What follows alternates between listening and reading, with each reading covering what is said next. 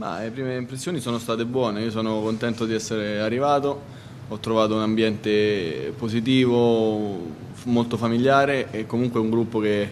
di ragazzi che ha voglia di, di, fare un gran girone di torno, quindi io mi aggiungo a loro, mi accodo e c'è tanta, tanta, voglia di lavorare per, per, migliorare la nostra classifica. Stimoli di, di rimettermi in gioco, purtroppo arrivo da sei mesi iniziati benissimo e poi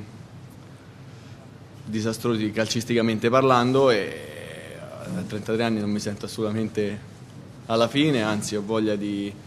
ho voglia di giocare, ho voglia di, e sono venuto qui per, per, rimettermi in gioco, di aiutare la squadra, cercare di dare una mano e, e credo che l'obiettivo comune sia, sia chiaro. E sono passato da giocare sempre a non, a non giocare più, purtroppo sono scelte che, che, che, che non, saprei, non, saprei, rispondere, sono, sono, scelte tecniche, societarie, questo non lo posso sapere. E onestamente non mi interessa neanche più. Ho accettato con entusiasmo questa, questa chiamata e, e, ho voglia di, di, dare il mio contributo perché comunque la squadra vuole salvarsi, sa che comunque è una cosa... È una, eh,